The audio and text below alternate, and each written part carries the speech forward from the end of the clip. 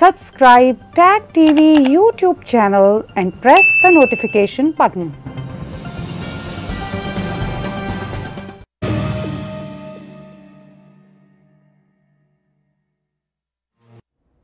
आज के बिला तकल्लफ तजिया में बातचीत होगी दुनिया में बढ़ते हुए कोरोना पेंडेमिक के हवाले से और इसके साथ साथ पाकिस्तान के वज़ी अजम ने हाईवे रेप केस के सिलसिला में कहा है कि रेप करने वालों की जिनसी कैस्ट्रेशन होनी चाहिए, उनके जिनसी आज़ाद निकाल देने चाहिए, ख़त्म कर देने चाहिए, केमिकल कैस्ट्रेशन होनी चाहिए और कड़ी सी कड़ी सज़ा दी जाए। इसके साथ साथ भारत में शुरू हो चुका है पार्लियामेंट का सेशन और इस सेशन में बहुत सारी बातें होंगी। प्राइम मिनिस्टर नरेंद्र मोदी ज़ोर दे रहे हैं। चाइना के साथ जो इश्यूज़ हैं और कोरोना पेंडेमिक के सिलसिला में जो वहाँ पर इस वक्त चैलेंजेस दरपेश हैं। अमेरिका में इलेक्शन 2020 हर रोज़, हर हफ़्ते मौजू के साथ चलेंगे क्योंकि ये इलेक्शन बहुत इंपॉर्टेंट हैं। एक तो कोरोना का ज़माना चल रहा है और दूसरा अमेरिका में आइडियोलॉजी की कशमकश अपनी इंतहाओं को छू रही है। बातचीत हम करेंगे, यूरोपियन यूनियन ने आज चाइना को एक तरह से सख्त मैसेज दिया, जो एक virtual video conference Chinese leaders और यूरोपियन यूनियन लीडर्स के बीच में हुई। सबसे पहले हम टच करेंगे प्राइम मिनिस्टर इमरान खान का वो स्टेटमेंट जो उन्होंने मोईद पीरजादा को एक इंटरव्यू देते हुए कहा, उन्होंने कहा कि केमिकल कैस्ट्रेशन होनी चाहिए उन रेप ऑफेंडर्स की जो रेप्स में मुलविस हों और उनको कड़ी से कड़ी सज़ा दी जाए। सबसे पहले हम मोईद पीरजादा की कर्टसी के साथ उनके इंटरव्यू से एक मुख्तसर सा क्लिप सुनते और देखते हैं। उसके, जो मैं उसके बाद समझता हूँ, इसकी कैस्ट्रेशन होनी चाहिए। केमिकल कैस्ट्रेशन अब ये बड़ कई मुल्कों के अंदर मैं पढ़ रहा हूँ। तो उनको या या सर्जरी करें कि वो आगे से कुछ कर ही ना सके। जो रिपीट ऑफेंडर है। जो देखे ना जिस तरह मर्डर होता है first degree second degree third degree उसी तरह इसको भी ग्रेड करें। और जो फ़र्स्ट डिग्री हो उसको तो कैस्ट्रेशन करें। यानी उनको कभी भी यानी उनको आप ऑपरेशन करके उनको नकारा करके रख दें। उससे इस तरह के लोगों को इनको ऑपरेशन करना पाकिस्तान के प्राइम मिनिस्टर इमरान खान ने रेप ऑफेंडर्स के हवाले से एक बहुत ही स्ट्रॉन्ग स्टेटमेंट दी और उन्होंने कहा कि जिस तरह first degree second degree murders होते हैं, उसी तरह ये सज़ाएँ भी मुतन की जाएँ और जो सेक्स ऑफेंडर्स रेप ऑफेंडर्स हैं, उनकी केमिकल कैस्ट्रेशन हो और सख्त से सख्त और कड़ी से कड़ी सज़ा दी जाए। पाकिस्तान में जब से ये अफसोसनाक वाक़ हुआ, पाकिस्तान के एक मोटरवे में जब एक ख़ातून का रेप किया गया तो उसके बाद से सोशल मीडिया और पाकिस्तान के मीडिया में ये गम गुस्से के साथ बातचीत चल रही है कि इस तरह के रेप करने वाले लोगों को उल्टा लटका दिया जाए, फांसी दे दी जाए और बेतहाशा ना सिर्फ़ गम गुस्सा पाकिस्तान में पाया जाता है, बल्कि पाकिस्तान से बाहर बसने वाले डायस्पोरा में भी पाया जाता है। प्राइम मिनिस्टर इमरान खान ने पहली बार इस मसला पर खुलकर बात की और बात की तो सख्त लफ्ज़ों में की। अगरचे एक रोज़ पहले उनके एक मिनिस्टर चौधरी फवाद हुसैन ने एक स्टेटमेंट में कहा था कि इस तरह की सख्त सज़ा नहीं दी जा सकती। उन्होंने अपने ट्वीट में कहा कि ज़िंदा जला दें, सरेआम फांसी दे दें, जिस्मानी अज़ा काट दें। अवाम की जानब से ऐसा रद्द अमल आना तो समझ आता है, लेकिन हमारे वज़रा और पढ़े लिखे तबक़ात की जानब से बग़ैर किसी हिचकचाहट के ऐसी बातें करना हमारे माशरे की मुतशद सोच का अक्कास है, जो तशद को हर मसले का हल समझती है। ये है ट्वीट पाकिस्तान के एक वज़ीर फवाद हुसैन की, जो उन्होंने एक रोज़ पहले दी इमरान खान के इस इंटरव्यू से पहले, और उसमें उन्होंने कहा कि इस तरह की सख्त बात करना, जिस तरह की बात प्राइम मिनिस्टर इमरान खान ने की है, उन्होंने कहा था अपनी ट्वीट में फवाद हुसैन ने कि ये पुरतशद रवैये की अक्कासी करती है, इस तरह की बात के अज़ा काट दिए जाएँ कैस्ट्रेशन कर दी जाए या उनको जला दिया जाए, इस तरह की बातें। तो बहरहाल ये एक तरह से कॉन्ट्रडिक्शन है गवर्नमेंट के दो सबसे बड़े अफसरों की। एक तो खैर प्राइम मिनिस्टर हैं, जो ऑफ़ कोर्स सबसे बड़े चीफ एग्जेक्टिव हैं गवर्नमेंट के किसी भी मुल्क में। और उसके साथ साथ एक सीनियर मिनिस्टर का ये एक रोज़ पहले कहना था कि ऐसा नहीं होना चाहिए। इस सिलसिले में B B C Urdu dot com के साथ बातचीत करते हुए पाकिस्तान की एक ह्यूमन राइट्स की ऑर्गेनाइजेशन अंसार बर्नी ट्रस्ट के हेड अंसार बर्नी ने कहा कि ऐसी बात करना गलत है, वो इसकी मजम्मत करते हैं। इस तरह की लेजिस्लेशन एक जोक होगा। उन्होंने बीबीसी उर्दू डॉट कॉम के साथ ये बात करते हुए कहा। उन्होंने कहा कि आप, यानी प्राइम मिनिस्टर, आप एक ऐसे मुल्क में इस तरह की लेजिस्लेशन की बात कर रहे हैं जहाँ अमीरों के लिए अलग लॉज हैं और गरीबों के लिए अलग लॉज हैं। उन्होंने ये भी कहा कि मैं ये हरगज़ नहीं कहना चाहता कि ऐसे रेप करने वाले क्रिमिनल को सख्त से सख्त सज़ा ना दी जाए।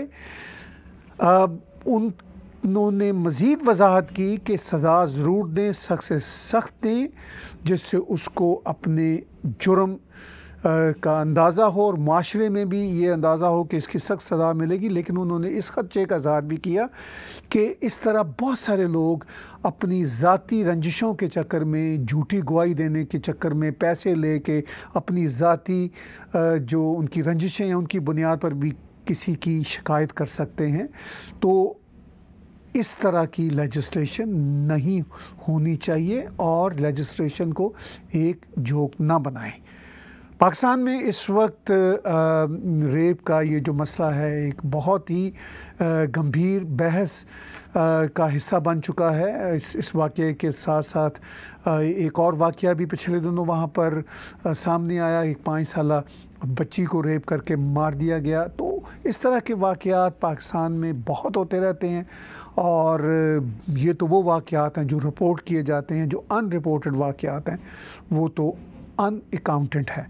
तो बहरहाल ये वाकई एक माशरे के लिए मसला है और पाकिस्तान से बाहर बसने वाले डायस्पोरा के लिए भी ये एक लम्हा फ़िक्रिया है कि क्या पाकिस्तान में लाकानूनीत इस इंतहा तक पहुँच चुकी है कि एक तरह से लिवेबल मुल्क नहीं रहा। अब प्राइम मिनिस्टर इमरान खान ने जो सख्त स्टेटमेंट दी है, उसके बाद क्या सूरत हाल बनती है? अमली तौर पर क्या होता है? ये तो आने वाला वक्त ही बताएगा। उधर भारत में मानसून सेशन पार्लियामेंट का शुरू हो चुका है। कोविड की वजह से पार्लियामेंट एक तरह से सस्पेंड हो गई थी फॉर द टाइम बीइंग और कुछ महीनों के बाद अब पार्लियामेंट वापस अपने सेशन में गई है। तो जब पार्लियामेंट अपने सेशन को आज गई तो उस वक्त प्राइम मिनिस्टर नरेंद्र मोदी ने पार्लियामेंट के अंदर दाखिल होने से पहले बाहर मीडिया से बातचीत करते हुए कहा कि पार्लियामेंट में एक बड़ा मसला तो कोविड का जेर बहस होगा और दूसरा बड़ा मसला जो चीन के साथ फेस ऑफ़ है, उस पर बातचीत होगी पार्लियामेंट में। प्राइम मिनिस्टर नरेंद्र मोदी क्या कहते हैं इस सिलसिला में? आइए एक वीडियो क्लिप में उनकी बात सुनते और देखते हैं। आज जब हमारी सेना के वीर जवान सीमा पर डटे हुए हैं, बड़ी हिम्मत के साथ, जज्बे के साथ, बुलंद हौसलों के साथ दुर्गम पहाड़ियों में डटे हुए हैं। और कुछ समय के बाद बर्फ़ वर्षा भी शुरू होगी। जिस विश्वास के साथ वो खड़े हैं, मातृभूमि की रक्षा के लिए डटे हुए हैं, ये सदन भी, सदन के सभी सदस्य एक स्वर से, एक भाव से, एक भावना से, एक संकल्प से वो संदेश देंगे सेना के जवानों के पीछे। देश खड़ा है। संसद और सांसद सदस्यों के माध्यम से खड़ा है। पूरा सदन एक स्वर से देश के वीर जवानों के पीछे खड़ा है। ये बहुत ही मज़बूत संदेश भी ये सदन देगा, सभी माननीय सदस्य देंगे, ऐसा मेरा पूरा विश्वास है। मैं आपसे भी आग्रह करूँगा कि कोरोना के कालखंड में आपको पहले की तरह मुक्ति से सब जगह पे जाने का अवसर नहीं मिलेगा। अपनों को खुद ज़रूर संभालना दोस्तों। जब तक दवाई नहीं, तब तक कोई ढिलाई नहीं। प्राइम मिनिस्टर नरेंद्र मोदी ने वाज तौर पर कहा कि दो बहुत बड़े मसले हैं जिससे कौम दरपेश है। एक तो कोरोना का है ऑफ़ कोर्स और दूसरा बड़ा मसला इस वक्त ये है कि भारत की फ़ौजें चाइना की फ़ौजों के आमने सामने खड़ी हैं और इसी पार्लियामेंट से, इसी नेशन से एक हौसले बड़ा मैसेज जाना चाहिए भारत की फ़ौजों को कि कौम उनके साथ खड़ी है, पार्लियामेंट उनके साथ खड़ी है। इस मुश्किल की घड़ी में बहरहाल चाइना इंडिया फेस ऑफ़ एक बहुत बड़ी इस वक्त रियलिटी है। अगरचे कुछ टेंशन्स गुज्तर कुछ दिनों से कम हुई है, जब से भारत के फॉरेन मिनिस्टर और चीन के फॉरेन मिनिस्टर की रूस में मुलाकात हुई। कुछ टेंशन्स कम हुई है, मगर अभी तक भारत और चीन की फ़ौजें आमने सामने खड़ी हैं। दुनिया में एक और अहम खबर ईरान के हवाले से है। ईरान में हर रोज़ कोई ना कोई ऐसा ह्यूमन राइट्स की वायलेशन का वाक़ होता है कि लगता है कि इंसानियत की कोई कदर नहीं है। एक इसी तरह के एथलीट को ईरान में फांसी के घाट पर चढ़ा दिया गया और उस पर काफ़ी प्रोटेस्ट हो रहे हैं। आज टोरंटो में भी एक प्रोटेस्ट हो रहा है और दुनिया भर में प्रोटेस्ट हो रहे हैं। इस सिलसिला में यूरो न्यूज़ की कर्टसी के साथ with the courtesy of Euronews एक वीडियो रिपोर्ट आपके सामने पेश करते हैं। Iran's execution of a wrestler accused of murder has sparked an international outcry after appeals for him to be spared were ignored. 27 year old Navid Afkari was handed a death sentence over the killing of a security guard during anti government protests in 2018. Navid was subjected to a shocking catalogue of human rights violations and crimes after his arrest, including torture and enforced disappearance. He was repeatedly tortured both physically and psychologically to confess, and he was denied access to a lawyer throughout the whole investigation phase. In a tweet, the US Secretary of State Mike Pompeo called Afkari's execution a vicious and cruel act and an assault on human dignity. Iran state media said the restless sentence was carried out by hanging in the southern city of Shiraz. The International Olympic Committee called his execution very sad news, and their thoughts were with his family and friends. बहरहाल, Iran में इस तरह के अफसोसनाक वाक़ात आए दिन होते रहते हैं और इस पर पूरी दुनिया की कम्युनिटी भी अपना एहतजाज रिकॉर्ड करती है और ईरान तक मैसेज भी जाता है। लेकिन इसके बावजूद किसी किस्म का जो असर हो ईरान की सरकार पर नहीं होता कि वो ये इन ह्यूमेन वाक़ात इन ह्यूमेन क्राइम्स ना करे। बहरहाल, इस तरह की सूरत हाल हम देखते रहते हैं। चीन और भारत के हवाले से अभी हमने प्राइम मिनिस्टर नरेंद्र मोदी का एक वीडियो आपको दिखाया था, जिसमें उन्होंने चीन का नाम लिए बगैर भारत की अफवाज को एक हौसले भरा मैसेज, ताकि कौम की तरफ़ से ये मैसेज पार्लियामेंट के थ्रू जाए कि पूरी कौम फ़ौज के साथ खड़ी है और वो वैसे भी भारतीय सेना के साथ पूरी फ़ौज और पार्लियामेंट खड़ी ही है।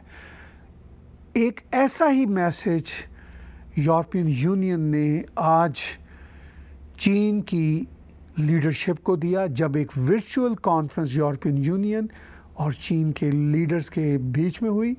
यूरो न्यूज़ के शुक्रिया के साथ मैं एक मुख्तसर वीडियो रिपोर्ट आपके साथ शेयर करता हूँ। EU China relations will be put to test this week as European leaders sit down with their Chinese counterparts. Virtually, of course.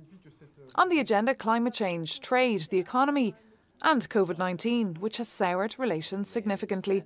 For the EU Foreign Affairs Chief, China is getting more powerful and assertive, and its rise is impressive and triggers respect, but also many questions and fears. Reinhard Butzikofer is the head of the China delegation for the European Parliament. He says Europe has adopted a more robust approach. Europe is pushing back harder because the aggressive behavior on the part of China. I would describe the situation by saying Europe is learning the lesson of how to be less naive and more forceful, standing up for our values and our own interests. Human rights and the rule of law in China will also be raised. Angela Merkel is set to bring up the deteriorating situation in Hong Kong and the South China Sea. I think we uh, will very soon, hopefully even through the German presidency, finalize the work on the global human rights sanctions mechanism, which would allow Europe to sanction individuals that um, are responsible for major human rights violations, like the police boss in Hong Kong who is drilling his men to, to be as, as violent as they can. A face to face human rights dialogue is planned between the EU and China later this year. For Euronews, I'm Maeve McMahon in Brussels. With the courtesy of euronews हमने आपको एक video report दिखाई and very good to know कि Europe में भी, European union में भी ये एहसास हो रहा है कि उनके यहाँ कितनी नाइविटी थी in terms of understanding China in terms of dealing China लेकिन अब उनको लगता है कि ये एहसास हो रहा है और ये बहुत ही इंपॉर्टेंट है। यही एहसास रिसेंटली अमेरिका को भी हुआ। यही एहसास एक बिटरफुल एक्सपीरियंस के बाद भारत को भी हुआ। भारत ने बहुत कोशिश की कि चीनी हिंदी भाई भाई की जो एक रीत चली आ रही थी, उस रीत में किसी तरह से ऐसी अंडरस्टैंडिंग हो कि कॉन्फ्लिक्ट्स भी रहें, लेकिन तल्लकात भी बढ़ते चले जाएँ और हालात भी अच्छे हों आपस में, मगर नहीं हो सका। और चाइना ने जिस तरह बैक स्टैबिंग भारत को की, उसके बाद भारत ने बहुत ही टफ रिस्पॉन्ड किया उनको। उसके बाद चाइना को कुछ थोड़ी सी होश आई। लगता ये है कि चाइना को जब तक टफ रिस्पॉन्ड ना किया जाए, चाइना की कम्युनिस्ट पार्टी को बात समझ नहीं आती। अब अमेरिका भी टफ तरीके से रिस्पॉन्ड कर रहा है तो लगता है कुछ कुछ चाइना को समझ आ रही है। ये बात तो अमेरिका के इलेक्शंस के बाद खुलेगी। यूरोपियन यूनियन ने भी अब सख्त मैसेज देना शुरू कर दिया। यूरोप के छोटे छोटे मुल्कों को या इवन यूरोप के बड़े मुल्कों को, जैसे फ्रांस, बरतानिया को चाइना जैसे यूँ लगता था कि घास ही नहीं डालता था, मगर जब यूरोपियन यूनियन मिलकर अब टफ मैसेज दे रही है तो चाइना को एहसास हो रहा है। अमेरिका भी चाइना को अब बहुत टफ मैसेज दे रहा है। सदर ट्रंप तो टफ मैसेज दे ही रहे थे। अब जो बाइडन भी इलेक्शन में अपना पलड़ा भारी करने के लिए चाइना की कुछ कुछ बात करने लगे हैं, और अमेरिका में जो इलेक्शन की फ़ज़ा है, वो वाकई ही काफ़ी गंभीर होती चली जा रही है। दोनों पार्टियों का पल्ला एक दूसरे के करीब आता चला जा रहा है और लगता है कि वहाँ पर कॉन्फ्लिक्ट बढ़ेगा हमें बहुत सारी ऐसी वीडियोस भी देखने को मिल रही हैं, जिसमें ब्लैक मलेशिया और quote unquote white Malaysia वो भी सामने आ रहे हैं और इस तरह की बात भी सामने आ रही है कि क्या अमेरिका में कोई छोटी मोटी सिविल वॉर तो नहीं होगी। इस तरह की अमेरिका में सिचुएशन हमेशा से रही है, लेकिन आजकल ये सिचुएशन अपनी इंतहाओं को छू रही है। एक तरफ़ तो बाइडन, कमाला कैंप ये साबित करने की कोशिश कर रहे हैं कि जो इमिग्रेंट्स हैं, जो न्यू अमेरिकन हैं उनकी मेजोरिटी उनके साथ है और सदर ट्रंप के साथ जो वाइट नेशनलिस्ट हैं वो साथ हैं।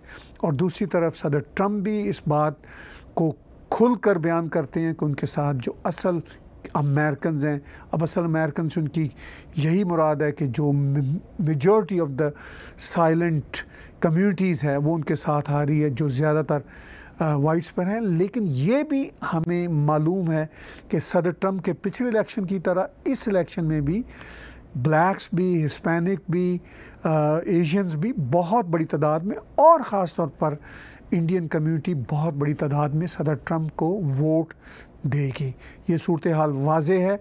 इसी तरह एक रैली में मुख्तलिफ़ लोगों ने अपनी पॉलिटिकल एफिलेशन का इजहार करते हुए वाज तौर पर कहा कि चाहे वो ब्लैक कम्युनिटी से हैं चाहे वो एशियन फिलिपिनो कम्युनिटी से हैं वो सदर ट्रंप को ही वोट देंगे एक वीडियो क्लिप देखिए I support the president because he's done more for the black community, all Americans really, than any other president in my lifetime. I'm happy what he's doing for uh, uh, businesses, small businesses, trying to get us reopened. I don't know what it would be like if I was still in the Philippines. I mean, um, I, the, this pla- this land, this country, the Constitution. I mean, it's it's everything. I, I, I I'm so thankful to be here. I am so thankful to be here, and I'm and I, I, I appreciate President Trump for everything that he's doing. Um, I didn't vote for him for, in the primary, but you know what? He has absolutely proven proven himself to be the conservative, the you know that stands for the people and um, and is fighting for us. He's really fighting for us, and I truly believe that. So it's safe to say you'll be voting for him in 2020. Um, oh my gosh, of course. I mean, I, I there's no question.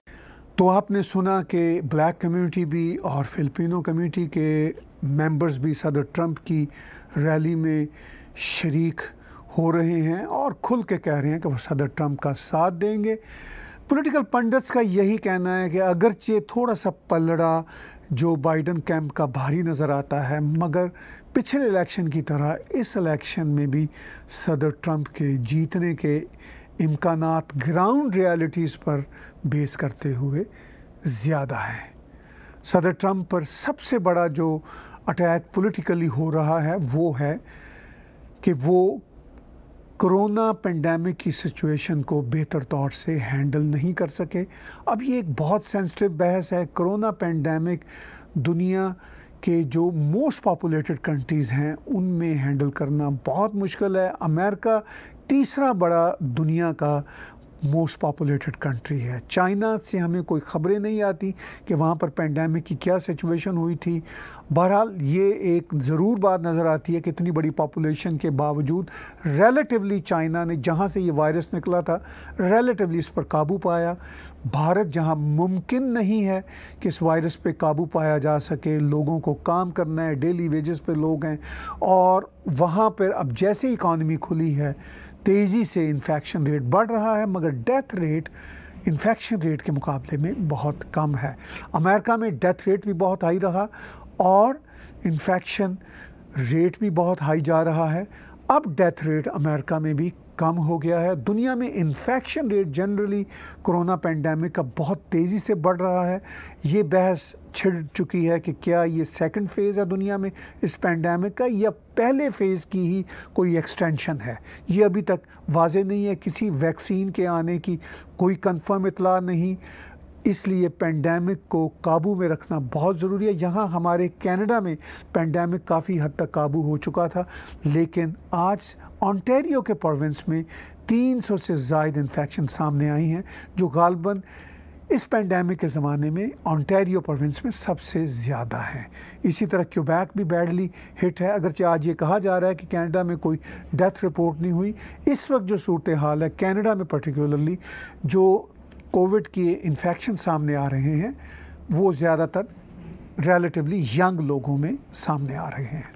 बहरहाल corona pandemic एक बहुत बड़ा challenge है humanity के लिए और इस सिलसिला में जो जो एहतियाती तदाबीर जिस जिस सरकार माशरे और गवर्नमेंट ने डिज़ाइन की हैं, वहाँ के रहने वालों को उनको फॉलो करना चाहिए। ये बहुत ही सीरियस मसला है और इसी सीरियस मसला को हम आने वाले दिनों में देखेंगे कि ये अपनी संगीनी को किस तरह और आगे लेकर आता है या फिर दुनिया इस पर काबू पाने में कामयाब हो जाती है आज का बिला तकल्लफ राउंड अप देखने और सुनने का बहुत शुक्रिया subscribe tag TV YouTube channel and press the notification button.